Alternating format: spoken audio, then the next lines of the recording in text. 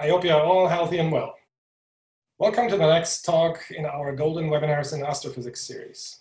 My name is Thomas Puzia, and together with Evelyn Johnston, we have organized today's webinar for you. As in our previous webinars, we have arranged for simultaneous language interpretation provided by Mr. Patricio Gonzalez, who will be simultaneously translating for us into Spanish. En sus dispositivos pueden escuchar la interpretación al español de la conferencia al pinchar el botón de interpretación que se encuentra en la parte inferior de la derecha en la ventana Zoom y seleccionar el idioma español. También hemos publicado algunas instrucciones en la ventana de chat que se puede activar con el botón chat abajo en su ventana de Zoom.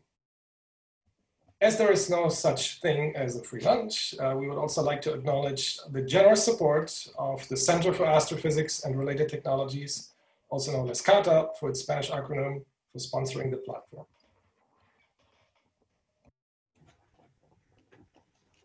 Uh, thank you all very much for your feedback and comments. If you're watching a recording of this talk on YouTube, please leave your comments below and please share the talks with your family and colleagues uh, if you think that they, that they will find them interesting.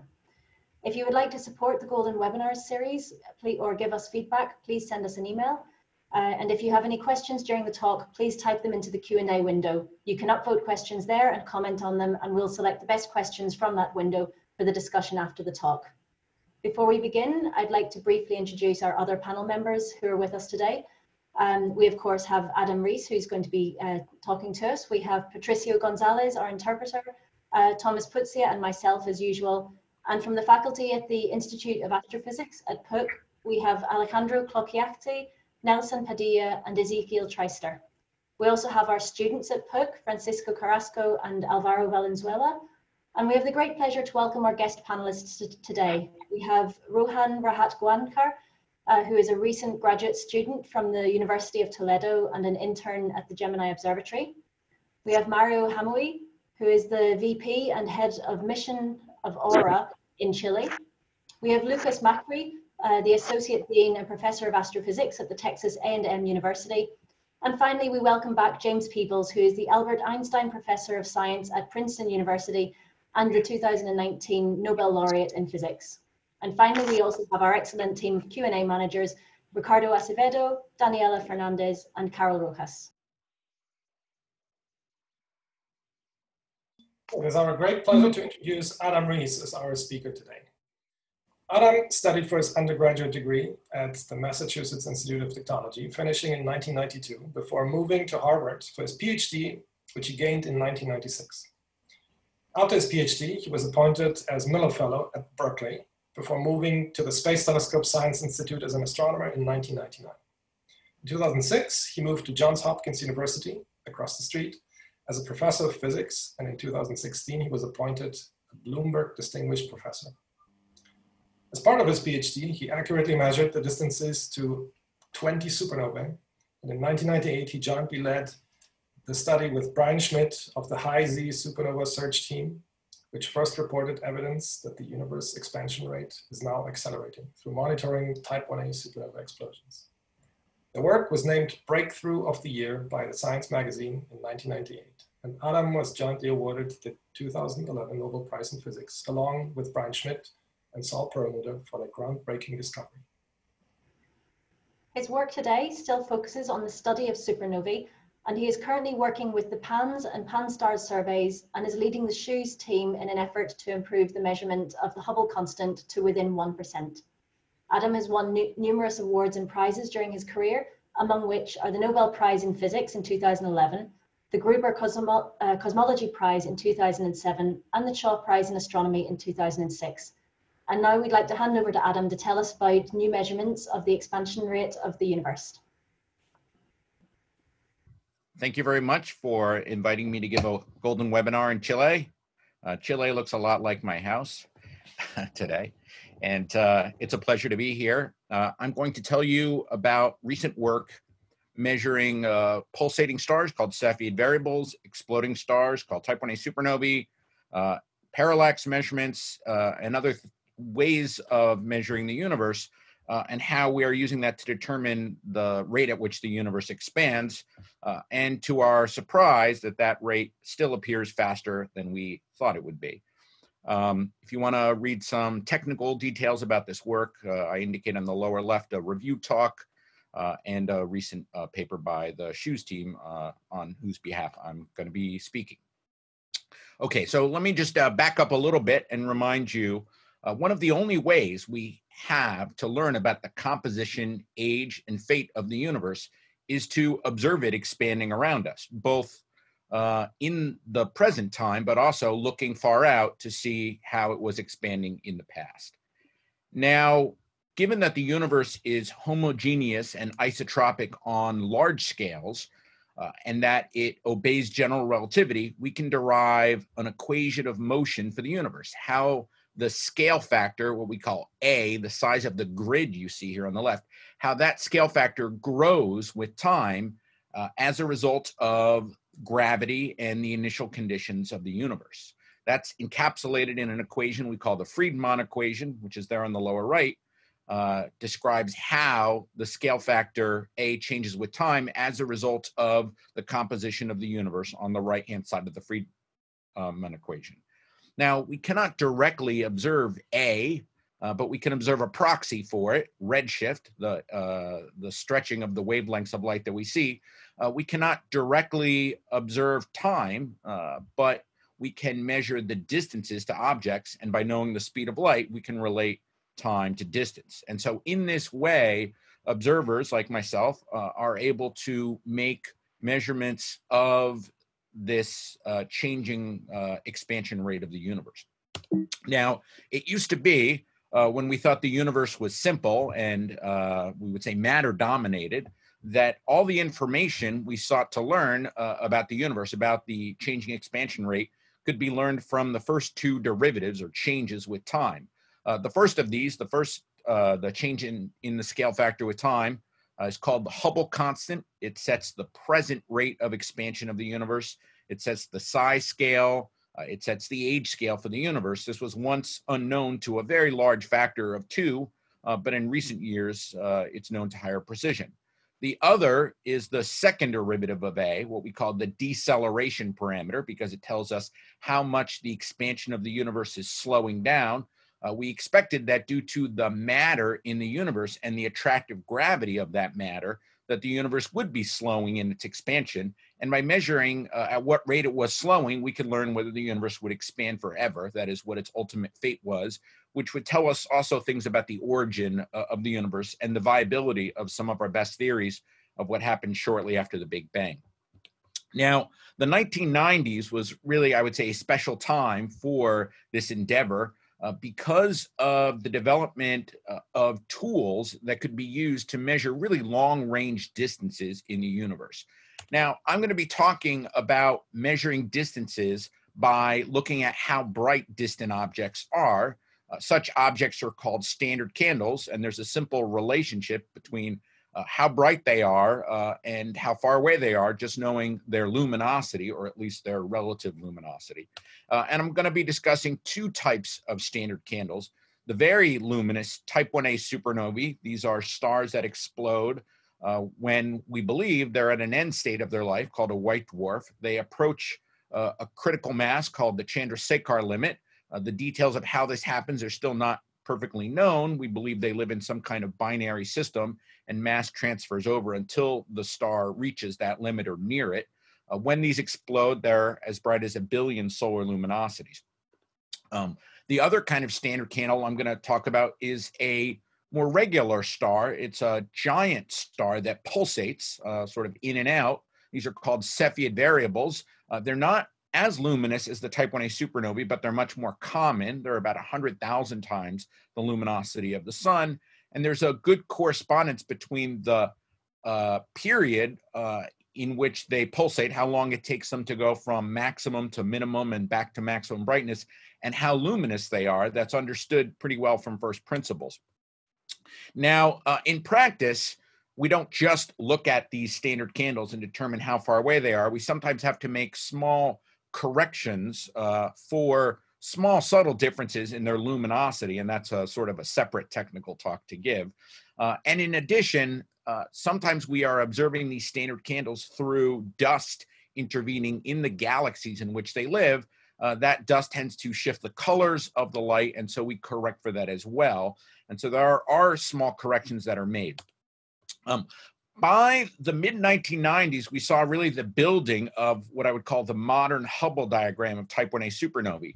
The first and I think most important of these studies came in Chile from the Calan Tololo survey done by Mario Hamuy, who's one of the panelists, uh, and others uh, on his team, who found, I think it was 29 type 1a supernovae uh, and well delineated the Hubble expansion. Uh, in my doctoral thesis uh, in the North, I made a modest contribution to this with uh, a small number of additional supernovae so that between the two, uh, you could see very sharply the expansion of the universe. Uh, this demonstrated that individual type 1a supernovae yielded distances that were precise to about 6%.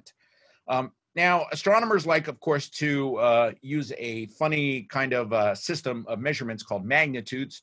It's a logarithmic system of brightness or distance, similar to the decibel scale or the Richter scale. And in our system, uh, five magnitudes is a factor of 100 in brightness, which then would translate to a factor of 10 in distance.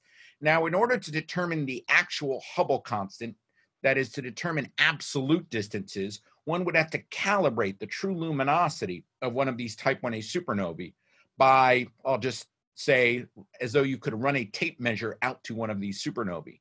Uh, now, I'll talk more about that later, but it turns out in the 1990s, this was quite hard to do. And so uh, we sort of moved on with only maybe 10 to 15% precision in the Hubble constant to another related problem, this of measuring the change in the expansion rate of the universe. And that could be done by extending this Hubble diagram to greater redshifts and distances, that is further back in time to see how the expansion rate of the universe was changing. Um, and as mentioned in the beginning of this talk, and probably many people are familiar with, about 20 years ago, my colleagues and I from the High Z Supernova team, and I want to mention Alejandro Clocchiatti, who's here from the High Z Supernova team, uh, two teams went out and found very distant supernovae uh, at redshift of a half and saw to our surprise that those supernovae were fainter than expected, implying that the expansion of the universe was not slowing down at all. It was actually speeding up. That is, you needed something quite different than uh, matter uh, slowing the expansion. You needed something more like Einstein's cosmological constant. Uh, and of course, uh, as I said, this was a great surprise to the two teams and, and many others, of course, as well. Now, at the time, we worried if there was some kind of uh, astrophysical effect causing the dimming of these distant supernovae we were seeing. Maybe there was some kind of gray dust in the universe that wasn't giving the telltale color shift, or perhaps the distant supernovae were just born fainter. Uh, a very powerful test, therefore, was to go to out to even higher redshifts because uh, when the universe was even younger, it would have been dominated by the attractive gravity of matter in it. And so it would have been decelerating before it began accelerating. That is, we would see a relative brightening again of the supernovae. Um, and so over the next decade, uh, I led an effort to find even more distant supernovae with the Hubble Space Telescope, while at the same time, many projects from the ground collected many more supernovae. So fast forward more than a decade later, and there are some 1,300 type 1a supernovae, which do a great job of really demonstrating the details of this transition from acceleration to deceleration, particularly with the Hubble Space Telescope data at very high redshift. Um, and so uh, our confidence uh, increased, and uh, this is the reality that we have to live with of a universe that's accelerating. Um, it's actually quite remarkable to look at the uh, improvement in the quality of the data in the 20 years of this effort. Uh, our original discovery data constrained the mass density of the universe and this cosmological constant in these large contours you see. Uh, my former graduate student Dan Scolnic has put together the largest compilation of supernova data, the Pantheon sample, which now you can see lives in a very, tiny area of confidence within that confidence. Now, it's not just supernova data which allow us to reach this conclusion. Uh, I'll say more about this later, but other techniques, including a technique called baryon acoustic oscillations, uh, measurements of large scale structure, and from the cosmic microwave background, all converge on this picture of a universe filled with this kind of dark energy that is accelerating the universe. Now, what is this dark energy, or why is it that the universe is accelerating? Uh, and of course, that's what makes this maybe one of the most interesting topics in cosmology because we don't really know or understand the detailed physics. Uh, however, we have some sort of general ideas. The first borrows an idea from quantum theory that there should be a background energy or some constant energy of empty space. Uh, and uh, the fact that having such energy then in the realm of general relativity would indeed produce this kind of repulsive gravity which would accelerate the universe however there's a terrible inconsistency between those two theories that leaves us far from being able to calculate from first principles or with any real detail this picture another possibility is that there is another field in space an energy field that's temporary uh, maybe changing with time but could mimic a cosmological constant for some period of time there are what I would call existence proofs for both of these ideas elsewhere in physics. A third possibility, of course, is that we don't yet have the right theory of gravity, that our theory of gravity is breaking down on the scale of the entire universe. Um, and so, without a real clear direction, uh, we sort of move forward in a new, I would say, paradigm or way, which is we generally assume, number one, that it is that the dark energy is Einstein's cosmological constant or a constant vacuum energy because really it's the easiest thing to calculate. And then we predict the results of experiments based on that and look for departures from those experiments. And now I'm going to tell you about current work, which I think of as sort of the grandest of those tests of the paradigm that may shed light on the nature of dark energy or any of the other mysteries. Uh, and so I bring you to the present time where we have this standard model of cosmology, what we call lambda CDM, or uh, what I might also call vanilla lambda CDM, because we take the simplest form it could have, where uh, it's described just by six numbers, six what we call parameters, and a number of ansatz. Uh, and we take that model as it would have looked shortly after the Big Bang, around the time of what we call recombination, when the universe would have looked like the prescription in the upper left there. And we use that model to predict how shortly after the Big Bang, how uh, what the physical size of fluctuations in the early plasma of the universe would have looked like, uh, including foremost what we call the sound horizon, the distance that one of those fluctuations can travel uh, in the age of the universe shortly after the Big Bang, just a few hundred thousand years. Um, or alternatively, we can pr- use the model to predict what the density of baryons ought to be in the universe. We then actually make measurements. We observe the angular fluctuations in the cosmic microwave background, or alternatively, we measure the baryon density. And in that step, by observing that and comparing it to the model, we essentially calibrate those six free parameters of the model. We then use the evolving form of the model um, all the way to as it would look today, as you see in the lower left, where it becomes dominated by dark energy and dark matter. And that predicts how the universe will expand over time, all the way up to the present moment. That is, it predicts the present expansion rate or Hubble constant today. And this is best done with the Planck CMB data yielding 67.4 plus or minus 0.5. We have some guardrails or tests along the way, uh, some other tools that tell us we are following the right curves in this road, but they don't tell us that we necessarily have the right story. And so, a powerful end to end test of this whole story, particularly of the 95% of the universe that at present time uh, is dark, the form of dark matter dark energy, whose microphysics we don't really understand. A powerful end to end test is to actually go out and measure the present expansion rate of the universe and compare it to the predicted value. So a little more than 10 years ago, uh, my colleagues, uh, Lucas Macri, who is uh, on this uh, one on the panel as well, uh, and others, we began a project to try to do just that, to try to reach a percent level measurement of the expansion rate of the universe. Uh, by building a strong and simple distance ladder to reach great distances, but now to, as I said, run the, the tape measure out to the supernovae and determine not just relative distances, but absolute distances. And so we thought we could do this with geometric techniques used to calibrate those pulsating Cepheid stars I talked about, and then in uh, distant galaxies to use those to calibrate the Type 1a supernovae. Now, we saw ways to reduce systematic uncertainties along the way over past measurements, particularly by collecting the data in a very consistent manner that I'll describe, as well as by making observations in the near infrared. Um, we also thought it was very important to uh, propagate all statistical and systematic errors from the beginning to the end through the entire process to get a realistic error budget.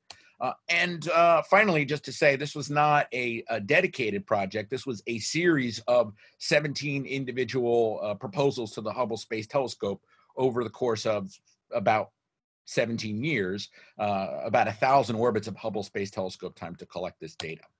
So let me start at the beginning. What is a distance ladder uh, and why do we build it? Well, we build it to measure great distances.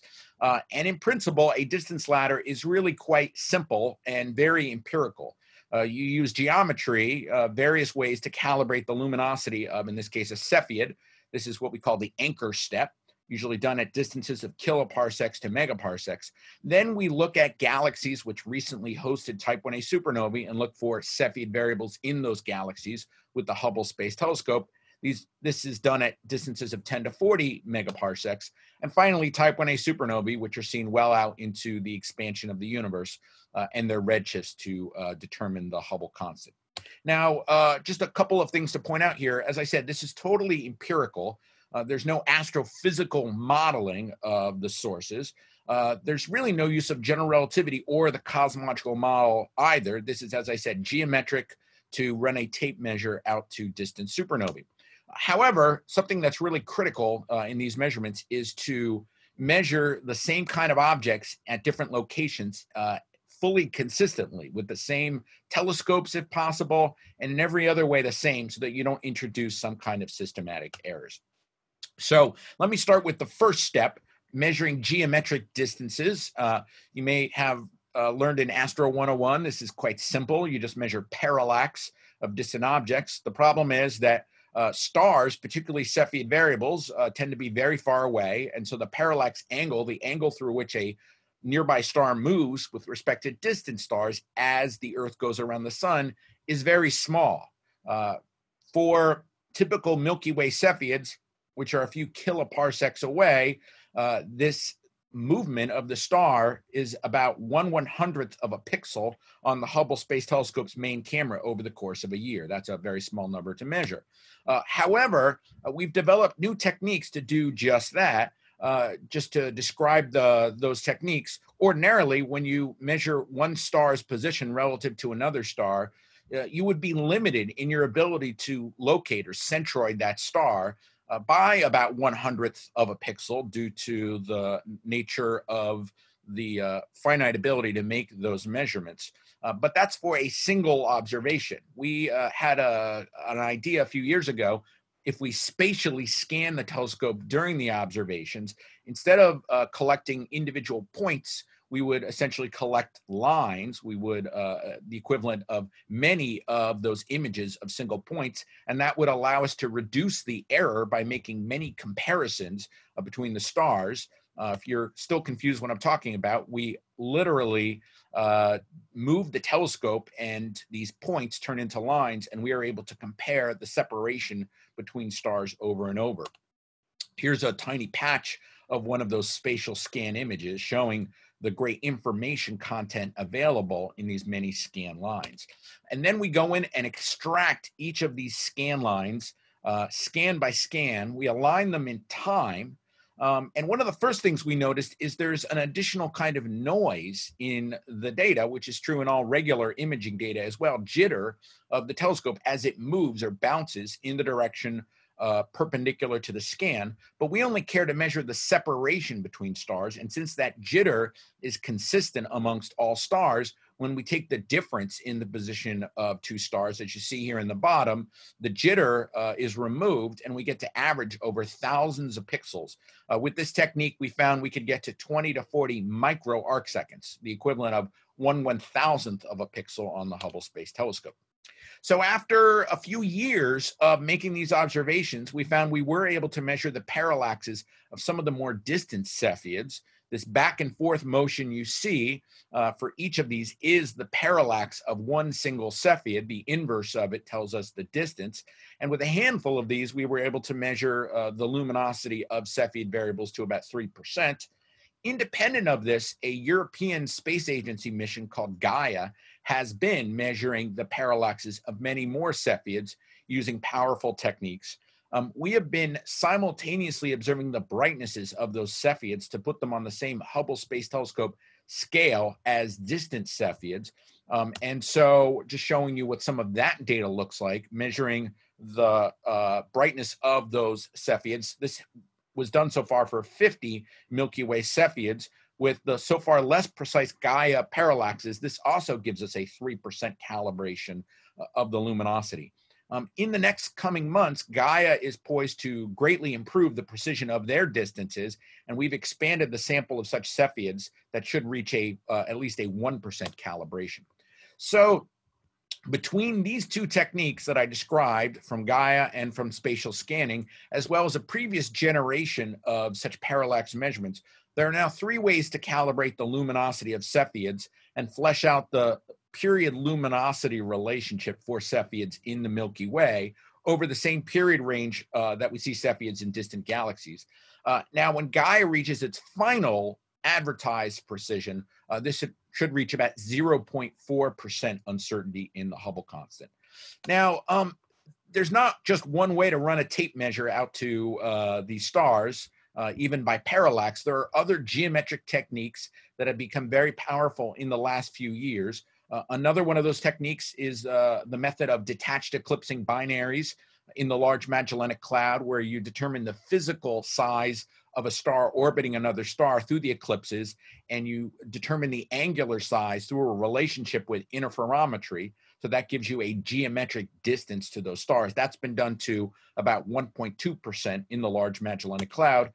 And uh, the geometric measurements from masers uh, orbiting in Keplerian motion around a supermassive black hole in a particular distant galaxy called NGC 4258 is also now good to about 1.5%.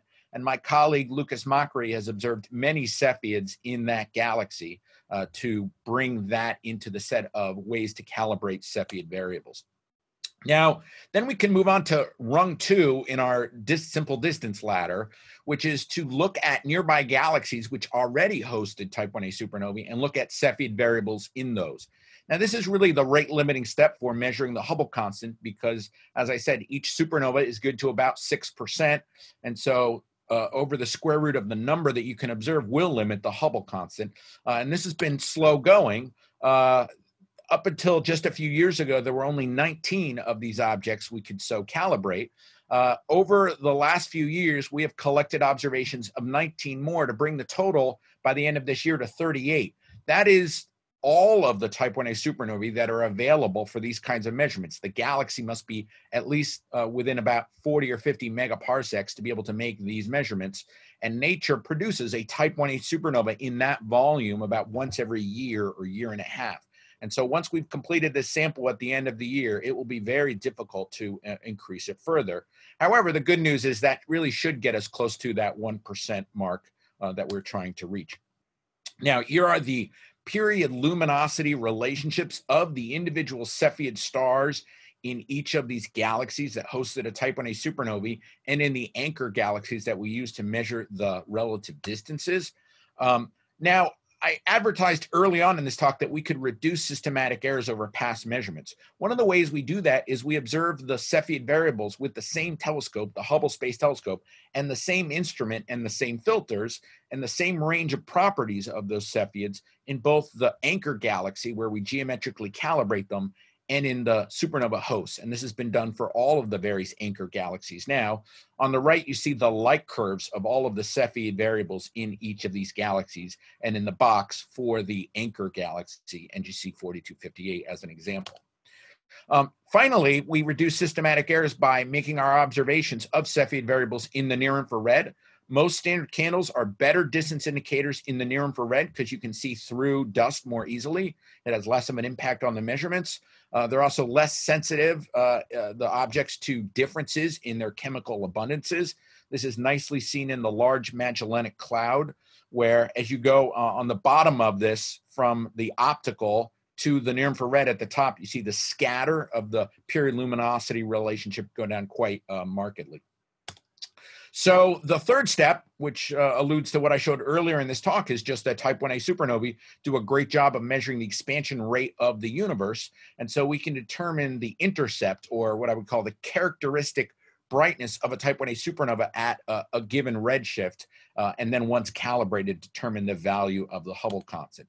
Uh, as I said, this is actually all done simultaneously with a system of equations uh, that relates the Cepheids uh, in their geometric calibration to the brightnesses of Cepheids in the anchor galaxies, and finally to the Type 1a supernovae in the Hubble flow. Uh, it amounts to a system of simultaneous equations, uh, covariance between related data, and finally leads to the determination of two numbers the absolute luminosity of a type 1a supernova and the intercept of the Hubble diagram, which then relates directly to the value of the Hubble constant.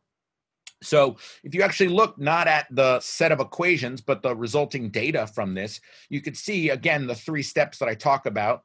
Um, there are uh, five sources of geometric calibration. There's actually a couple of new ones I'll mention later in the talk uh, that are used to calibrate the luminosity of the Cepheid variables. And then, as I said, the second step where the Cepheids calibrate the Type 1a supernovae, and the third step where Type 1a supernovae calibrate redshift and the Hubble constant.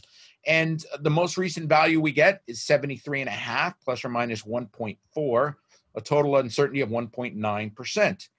Uh, now, if you remember from early in this talk, I quoted a value from Planck that you may remember was quite a bit lower than this, and that is true. There's about a 4.2 sigma difference between these. So uh, let's explore that uh, difference a little bit further.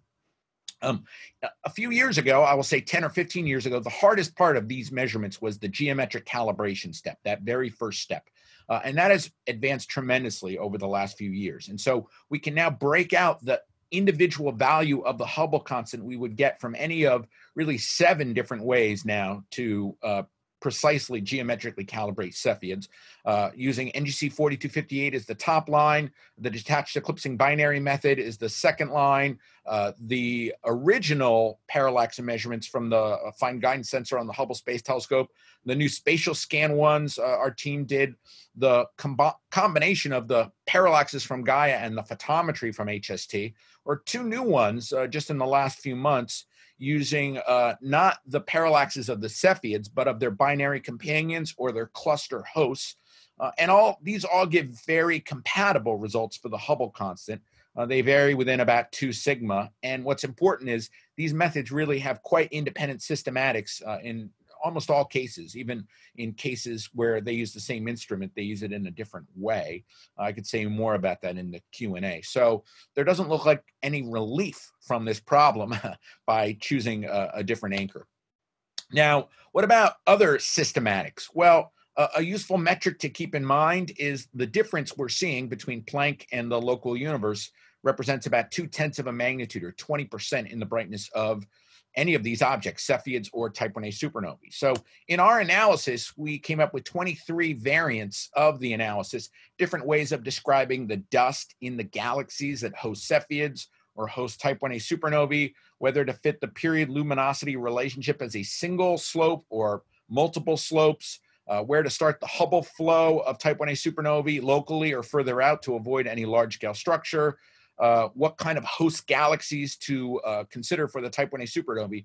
All types, those just in spiral galaxies, those in locally star forming galaxies.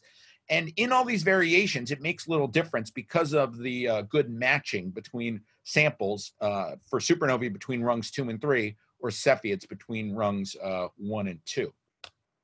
Um, other frequently asked questions to uh, resolve this riddle could we live in a giant void, uh, an area uh, pretty devoid of matter so that the local universe expands faster?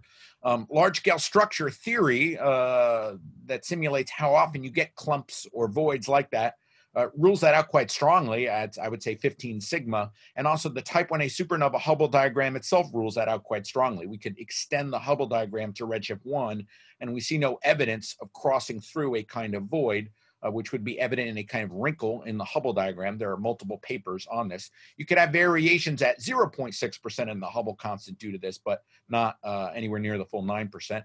Um, is the instrument on the Hubble Space Telescope Wide Field Camera 3 has its flux scale been calibrated well enough to make these measurements? Uh, and I would say yes. Most recently, it's been calibrated across 15 magnitudes uh, to introduce maybe about 0.3% uncertainty in the Hubble constant, but not uh, anything like this larger amount. Could what uh, astronomers call crowding of the Cepheids uh, of their brightnesses compromise the accuracy? and I would say no. Most recently, uh, our team has put out a paper showing that the amplitudes of the Cepheids match the uh, expected amount of crowding, which is already taken into account in the analysis. Uh, is there a difference between the supernovae themselves at the two ends of the distance ladder? And I would say no. We've looked at correlations of the Hubble residuals for supernovae. Again, they could introduce errors at 0.3%, uh, but not anything near this level that we see. Um, over the last few years, most of the improvements we have realized uh, have come from the anchor step or the first step. But this has been a gradual process, going back to the Hubble Space Telescope Key project in 2001 and to through five iterations uh, of this project, we have uh, kept a focus on the error budget uh, and address different terms in it by different specific experiments uh, or uh, methods to uh, go through those. Um, nobody should be, I think, dramatically surprised. I, I, would say one of the big advantages of this work using Cepheids to calibrate supernovae is it's probably the most widely replicated method to measure the expansion rate of the universe. It's been uh, the most used, I would say, over the last 20 years, and it's given very consistent results uh, over that time. We've seen uh, this work done with different instruments on the Hubble Space Telescope, uh, done by different teams, uh, including, as I said, the Key Project, whose final result with a recalibration uh, in 2012 was very similar to the results we find now. Uh, they measured the brightnesses in different ways over different wavelengths. We've seen people from the Planck team take the data and reanalyze it themselves and get very consistent results. Uh, we've seen people use different sets of supernovae, uh, use different uh, complex analyses techniques, Bayesian analyses, not just the simple multilinear regressions that we use.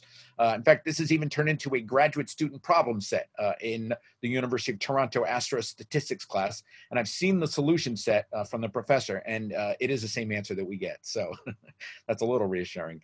Um, why do we use Cepheids uh, for this calibration? Um, and the reason so many people have really used them for a while is they're the longest range distance indicator uh, before you get to supernovae. They have the most uh, independent calibrations. Uh, they uh, have the only ability to generate consistent measurements across the distance ladder for technical reasons i could describe later. Uh, but really they're the most tested i think at this point now, they're not the only way, though, to measure the Hubble constant. So, uh, last year we had a conference uh, over this sort of controversy or, or struggle uh, where other techniques uh, were um, uh, provided, were uh, presented. and some of these built type 1a supernova distance ladders with other kinds of stars, Cepheid variables here, other kinds of pulsating stars called Miras a technique called tip of the red giant branch, calibrated in different ways, uh, or strong lensing. Uh, there were other distance ladders altogether. Surface brightness fluctuations is a different method. I'll mention another one later. Or there were single rung techniques, uh, lensing or masers directly into the Hubble flow. Now, you can't just naively average all these things because some of them use overlapping data. However, you can sort of order off of this menu, like ordering off of a prix fixe menu, uh, to build an average that is uh, independent by taking one thing from category one, uh, one supernova distance ladder, one thing from category two, from category three and four, uh, and then a peremptory challenge, something that you could choose uh, not to use. And so here are the various data combinations. Uh, I show this in a recent review, uh, making these different choices and showing that the average nearby value is quite consistently higher than we see in the early universe. Now, uh, you can't really blame the Planck measurements. There are other uh, ways of measuring uh, or predicting, calibrating the cosmological model and predicting the Hubble constant using other cosmic microwave background experiments to then calibrate uh, a remnant of the cosmic microwave background uh, called baryon acoustic oscillations, or to use a Big Bang nucleosynthesis uh, measurements uh, in a similar way. Uh, and we pretty consistently see this difference between the early prediction of today's expansion rate and what we actually see. Um, I could form a matrix uh, of those differences. Here are all the late universe measurements on the x-axis in order of their precision and the early universe measurements on the y-axis. We can then convert that into uh, how many standard deviations apart these measurements are. And if we focus particularly on the measurements coming from Planck, since those are, after all, the most precise, we can see that this difference is quite consistent, whether it's coming from using Cepheids or tip of the red giant branch, uh, Miras, uh, or um, all measurements that don't use lensing or don't use supernovae. So there's no one single, I would say, peremptory challenge that uh, gets rid of this problem. Um, so what's going on? Uh, I don't know. Uh, one possibility is a physics-based solution, which might be some kind of change in the cosmological model, either at late times or early times. Uh, it turns out that late times look harder because there is additional data at late times in high redshift supernovae and baryon acoustic oscillations that limit uh, how much you could change, for example, dark energy or um, uh, other properties of the curvature, other properties of the universe. Uh, it looks a little easier to change the early universe. Uh, if you change the physics of the cosmological model before recombination, particularly, and I direct you to this uh, paper, The Hubble Hunter's Guide by Knox and Millea, if you inject energy, I will say generically, into the universe before recombination, you will cause it to expand faster, to become transparent earlier, uh, and shrink the sound horizon, which is essentially the equivalent uh, fundamental standard ruler of the early universe, uh, and potentially bring these into better agreement. It has to be done in a just so way, not to uh, mess up other features of the cosmic microwave background. Uh, one particularly uh, uh, pursued way is a technique called, well, is a, an addition called early dark energy, where there is another episode of dark energy, not just after the Big Bang inflation or at present time acceleration, but a third.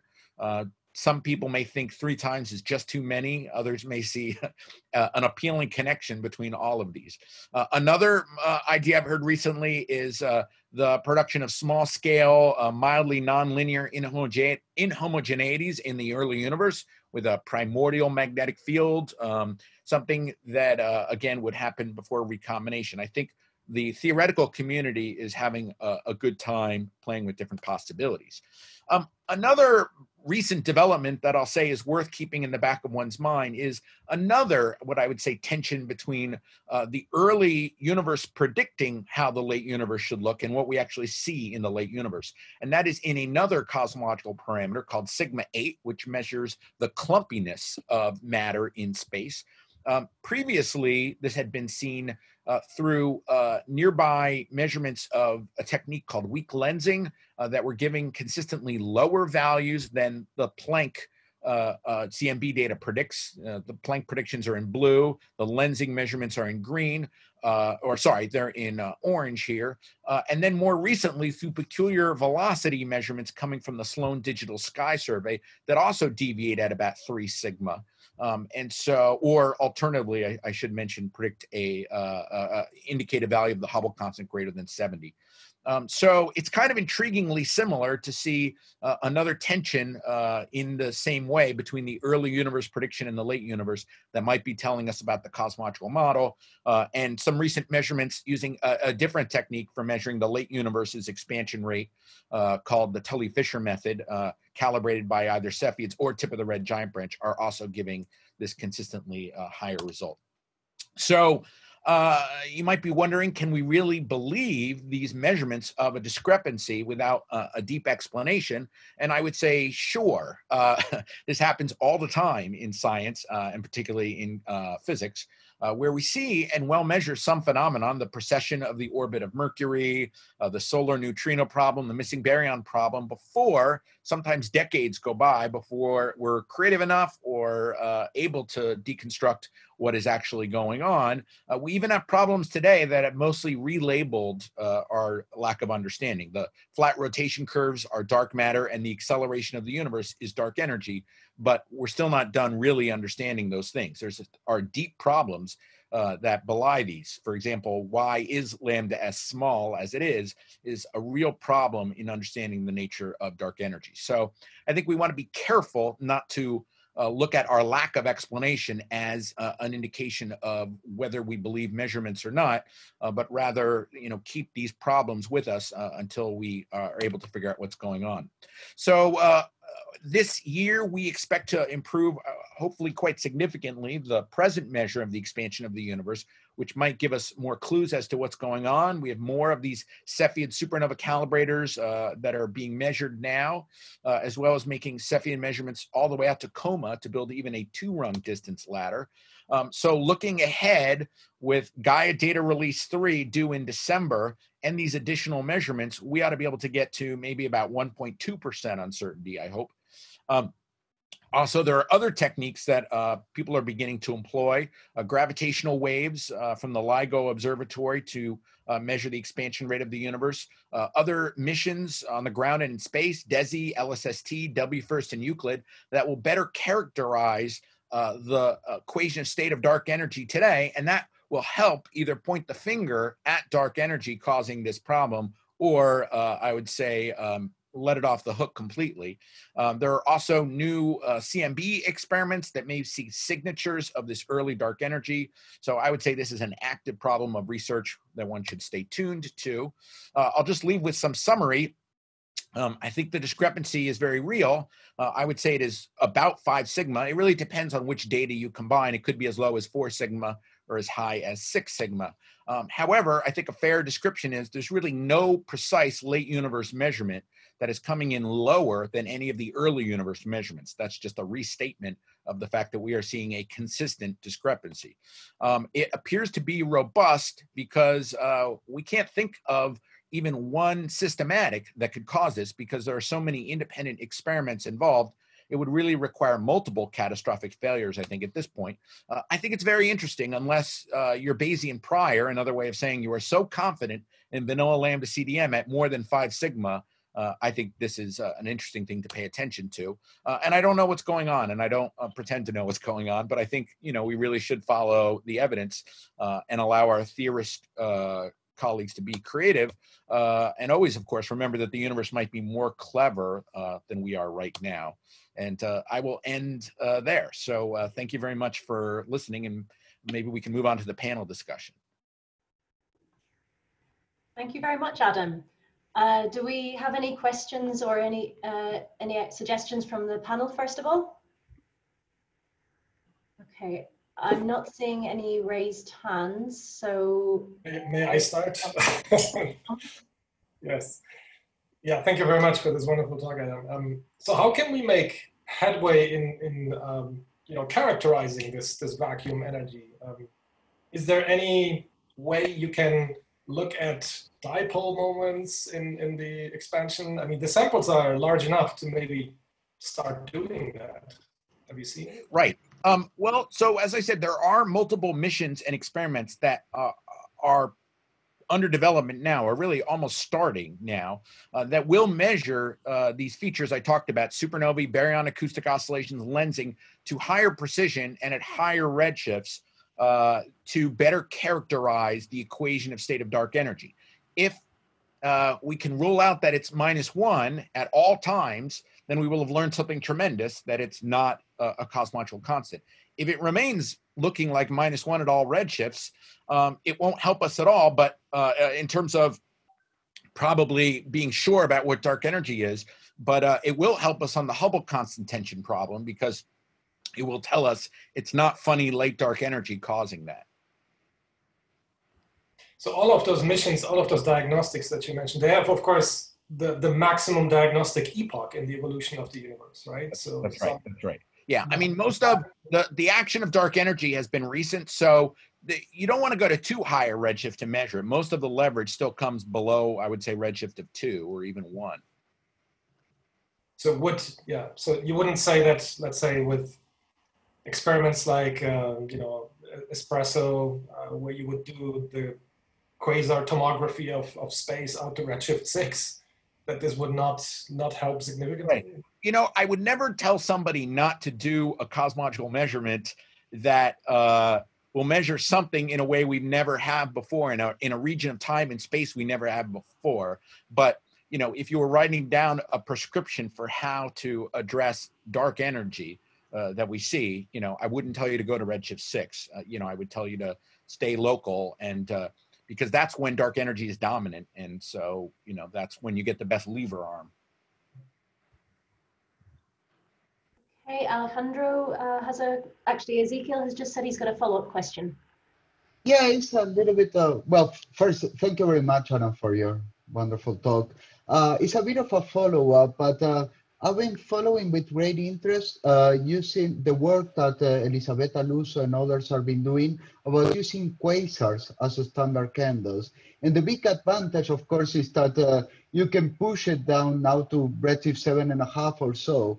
And they're finding that uh, when you go to, to, up to redshift 2, they're consistent with the supernova, but when you go to high redshift, it's not that you require maybe a dark energy that evolves, that increases, the density increases with time. So I was wondering, uh, I would like to blend two questions. So first, do you think there are any prospect to expand supernova, maybe with JWST to much higher redshifts?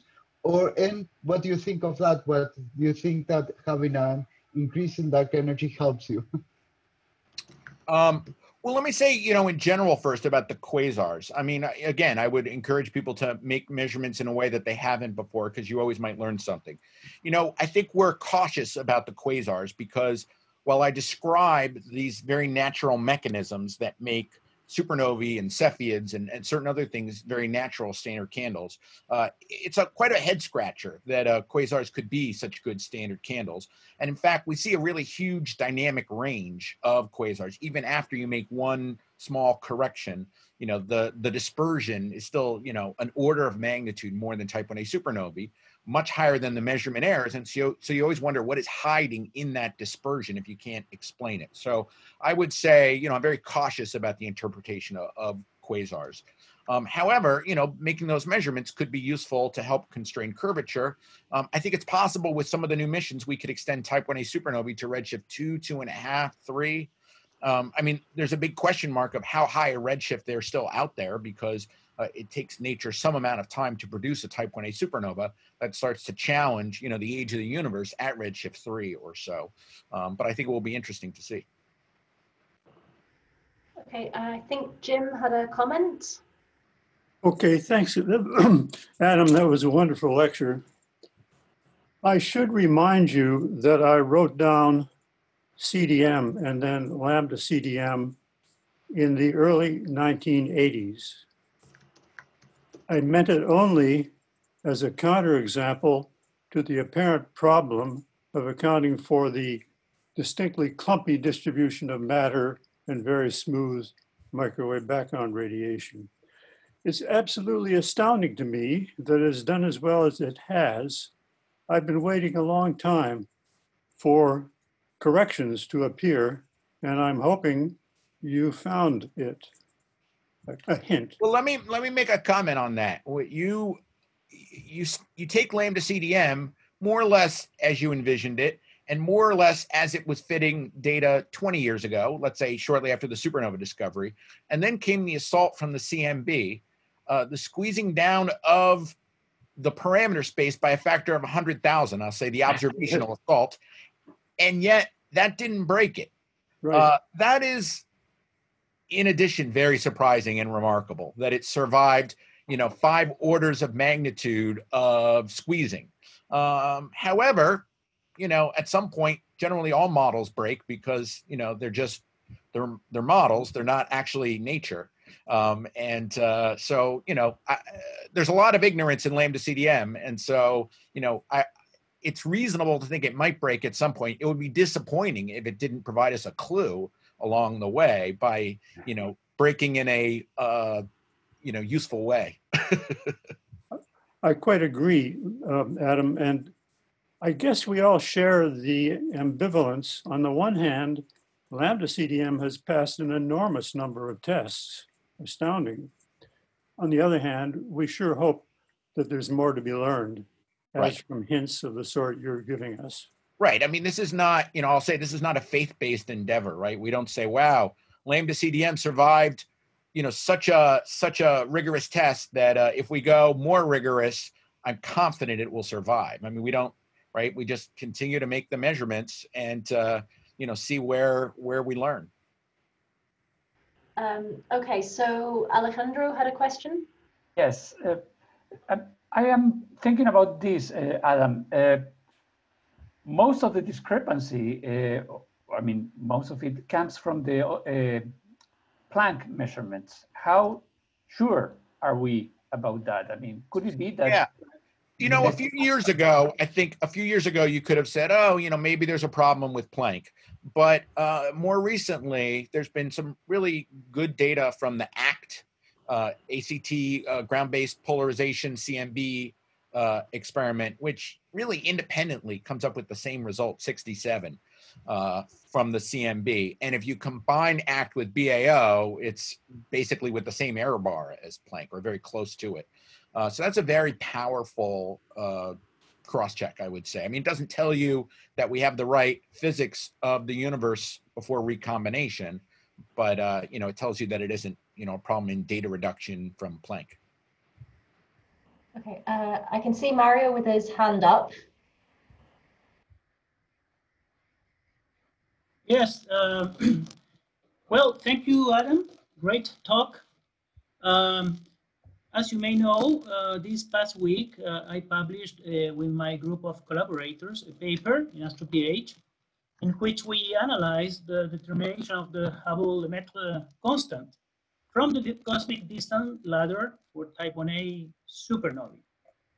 Uh, in the course of our work, we found it difficult to reproduce your latest results since the Cepheid distances anchored to the LMC have not been published. But what do you think about the importance that all data used in such an important subject be readily available for users for the use in their work? Right. So um, we published those distances in our 2016 paper, you know, a table of all the individual values. Our 2019 paper was based on an improvement in the anchor, the first step. And so that improvement just shifts by a constant number all of those distances. And so you interpreted that correctly, I thought, in your paper, uh, where you said, oh, this looks like it'll just be a constant shift. We can apply to all those. I mean, we don't normally publish a new table with a lot of numbers if they all are changing by a constant amount. We usually just indicate you know a new zero point for this and so the in that case it was only the zero point that was was changing and as i said i mean if you had shot me an email i would have said you know to do exactly what you did uh, to just shift the the zero point by that constant amount Thank you. Okay, so let's move to the Q and A. I believe Nelson had a had a question that he wanted to ask. Uh, yes, uh, thanks very much. Um, it's a great talk.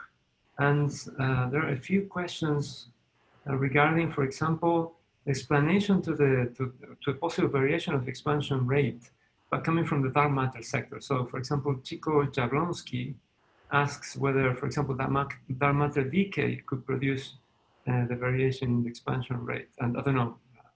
I think there's also some. Uh, there also been some ideas of uh, primordial black hole evaporation that could also be uh, right well you know right i mean these are things these are interesting ideas that have to be worked out in detail i mean you know any you know significant alteration you know having dark matter have interactions producing extra inhomogeneities you know you have to go back to the early universe you have to calculate what the new sound speed would be uh, what the new um, uh, time to uh, transparency would be um, you know if there's any change for example to the effective uh, amount of radiation or radiation density.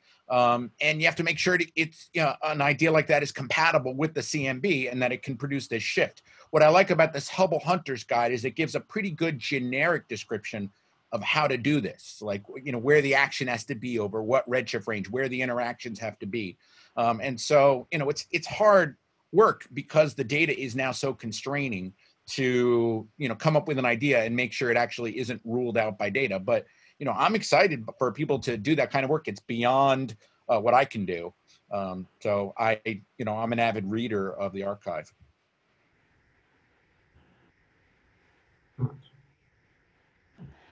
Uh, so I think Rohan also had a question from the Q&A.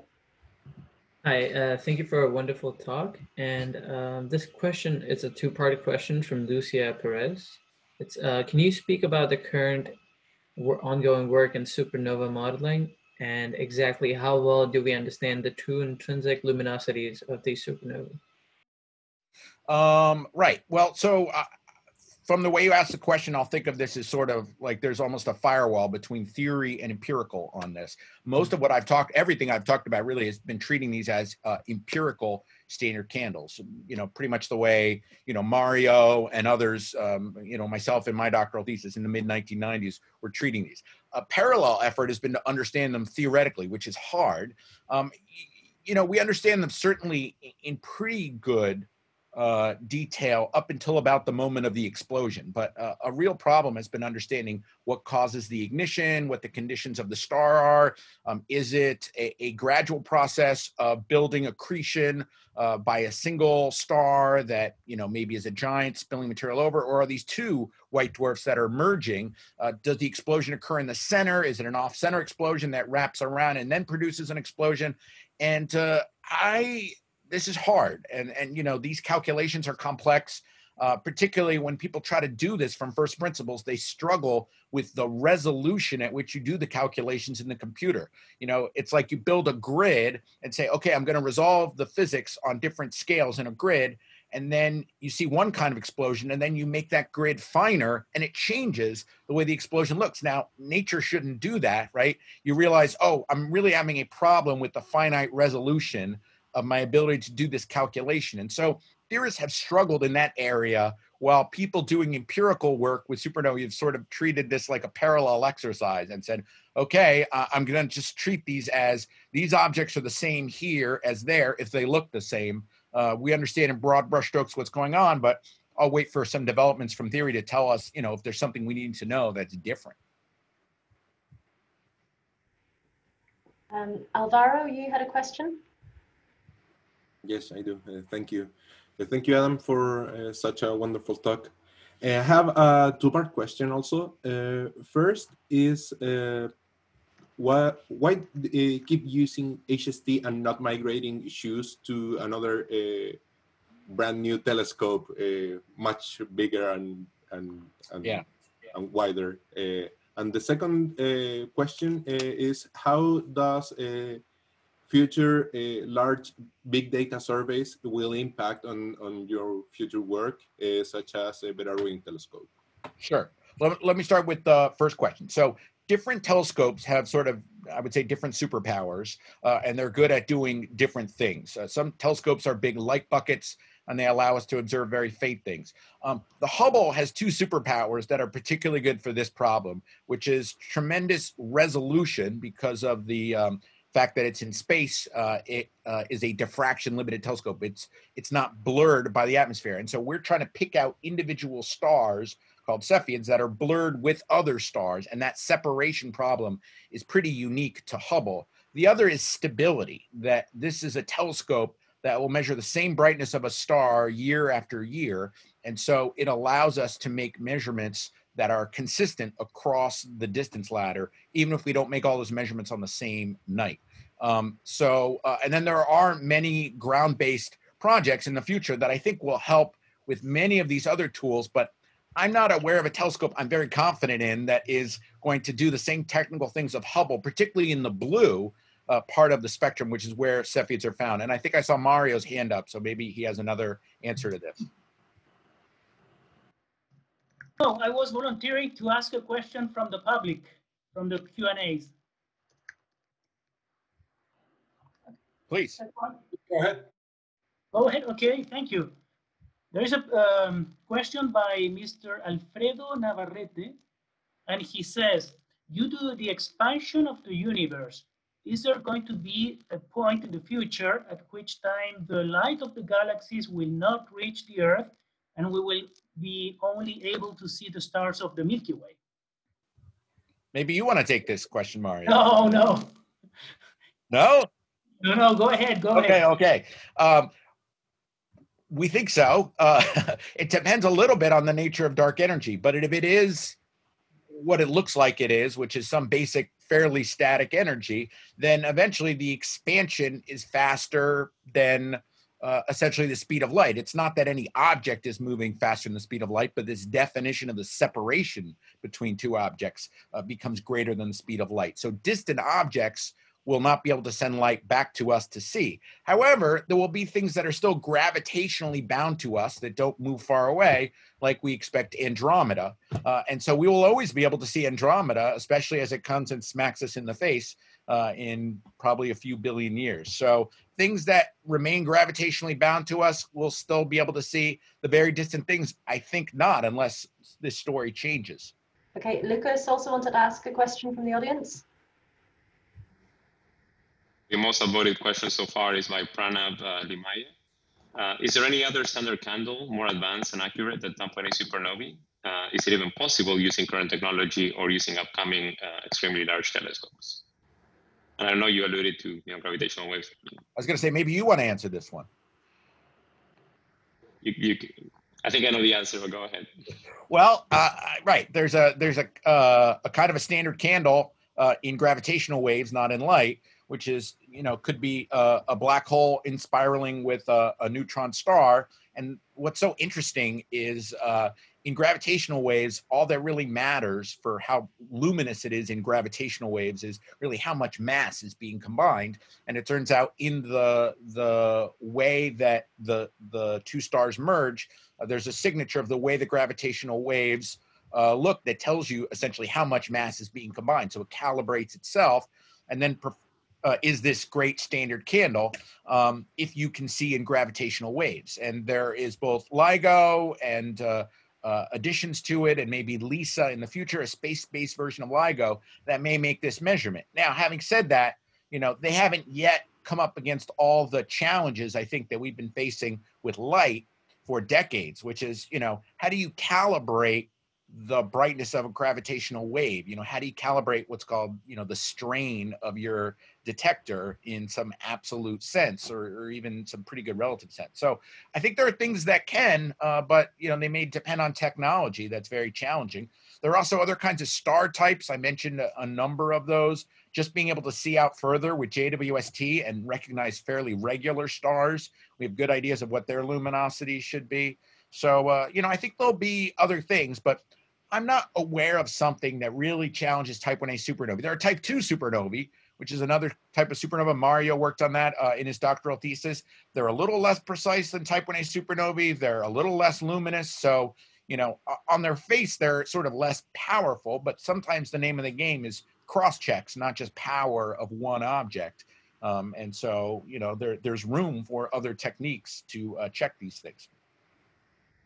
I was also thinking of uh, masers that are farther away than NGC 4258. Yep. Uh, your recent paper with uh, Dom and, and Mark. Right. Uh, and perhaps also uh, surface brightness fluctuations as a technique may eventually uh, go out to the Hubble flow and, and give us a cross check of type 1a supernovae. Right. Right. And none of those are standard candles in, in the strict sense of the word, right? They're either standard sirens or or just Right. direct measurements. Right? So, so I have a question that's that I find quite an interesting one from the Q and A from Kaustubh Gupta. Uh, there was a recent study showing that for white dwarfs with extremely large mag- uh, magnetic fields, the Chandrasekhar limit might be exceeded. This means that Type 1a supernovae might not be such a good such good standard candles as we currently assume. What are the implications of this for our understanding um, of the expansion of the universe?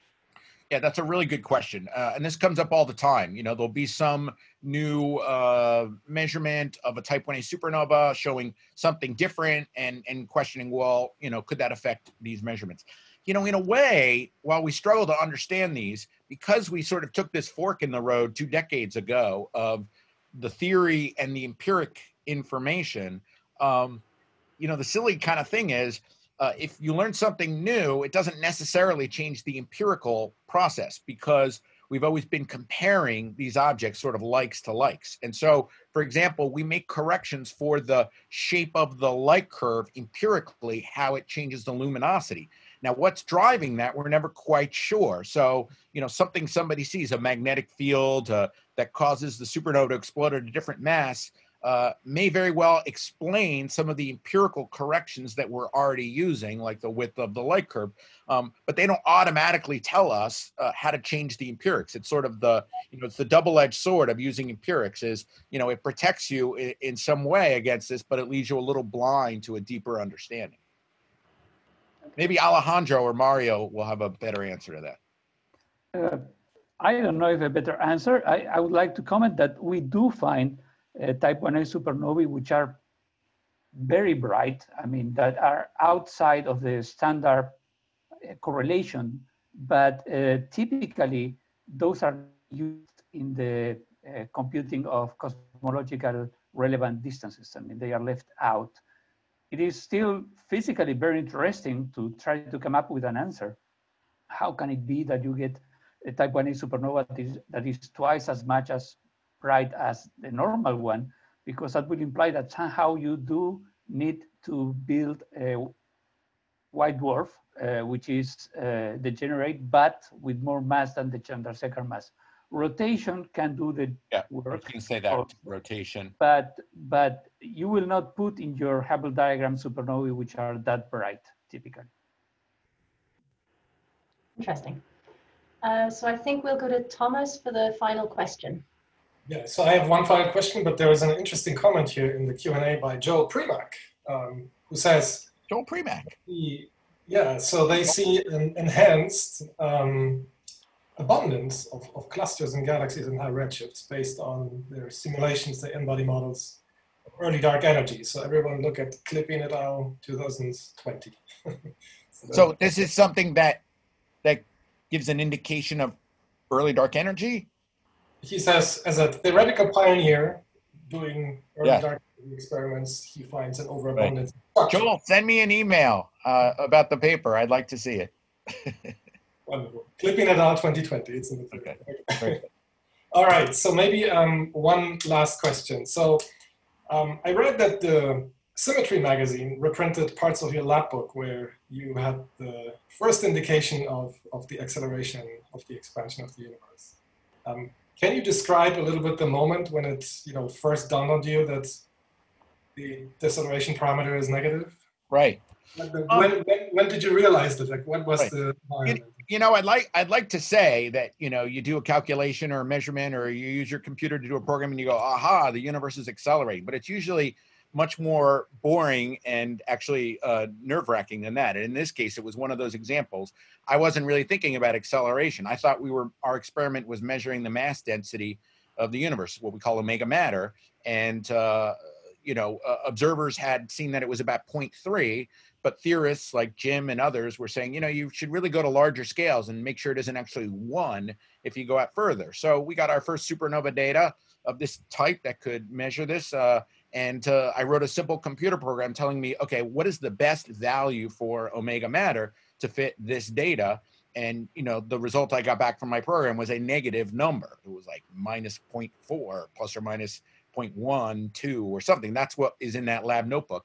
And I remember writing that going, well, I'm writing down the answer, but this is ridiculous because, you know, I, I, must have messed up something in the equations. I must have messed up something in my computer code. I'm outside the bounds of what is physically possible. And I think it took me a few days to say, you know, oh, it really does look like the data wants that. There's got to be some other way to think of this. And, uh, you know, I went to uh, a colleague of ours, Sean Carroll's famous uh, paper describing the cosmological constant of the equations and saw, oh, here's a not crazy way that you could at least talk about this. Um, so, you know, it was a, a reluctance to get to it, uh, uh, driven by fear. Here is a good motivator. Wonderful. Um, are there any other questions from the from the panel? I would like to just take a moment since this isn't Chile. I mentioned it in my talk, but I want to highlight again the importance of uh, not just Chilean astronomy, but particularly, you know, this body of work that came from Chile, the Calán/Tololo survey. Uh, we have Mario uh, Alejandro, who was involved uh, later with that. That um, I don't know how clear this was in my talk, but you know, you can't measure the acceleration uh, if you can't measure it relative to something, the more nearby expansion of the universe. It's a little bit, you know, what's the expression of Archimedes? You know, you, he could he could lift anything if he has somewhere to stand, and the somewhere to stand is the you know local measurements from Type 1a supernovae. So you know that that work is was uh, foundational to uh, you know modern cosmology. Mario has a question. Yes. Um well, thank you for reminding uh, us the contribution of the Calán/Tololo project, Adam. Um, um, as you said, uh, it served as the basis for discovering the acceleration of the universe in 1998, complemented obviously with the data of the, uh, of the High Z program.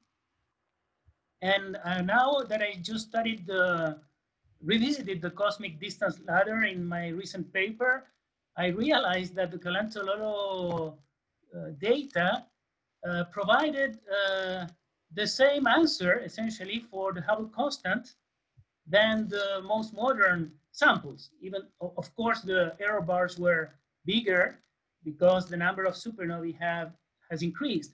But it's re really reassuring to um, note that the Calán/Tololo combined with your Cepheid distances uh, provides uh, a, value, a value for the Hubble constant of uh, 74. And I would also like to mention another important contribution from Chile to this um, cosmic distance ladder construction. And that's the work of the people from the University of Concepcion, uh, Grzegorz Pietrzyński and Wolfgang Gieren, Thank you. They were the guys who measured the distance to the LMC uh, with through the DEB uh, technique to a one uh, one percent precision. Thank you. That is that is very true. Um, you know, it, it's funny the the work that came out of Calán/Tololo, in a way, was sort of good enough for the third rung of the distance ladder even as it is today. Um, but it took a while for the other two rungs to catch up, I would say. And that's what's happened over the last 20 years. And so when people say, you know, well, uh, you know, it used to be so hard to measure the Hubble constant 50 to 100. Why would I believe we can measure it well now?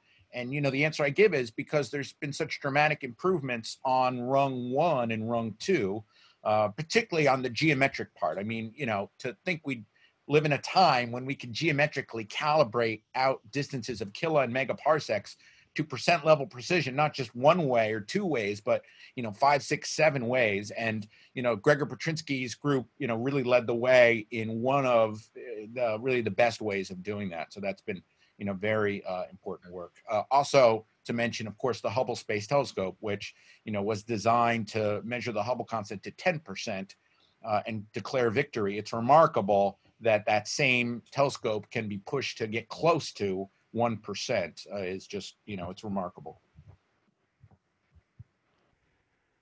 Okay, uh, let's wrap up there. So thank you very much to Adam for telling us about your work and thank you to, for everyone else for joining us today and for all your questions. Uh, we will be send, sending out uh, a survey at the end of this Zoom webinar, so we'd really appreciate uh, receiving your feedback. If there's any, any suggestions or comments you want to make, um, and our next scheduled talk will be for October 2nd and will be given by Joe Silk, who will be telling us about the future of, of cosmology. For now though, stay safe, stay healthy, and I'll see you all again at the next Golden webinar. Ciao. Bye everyone. Bye.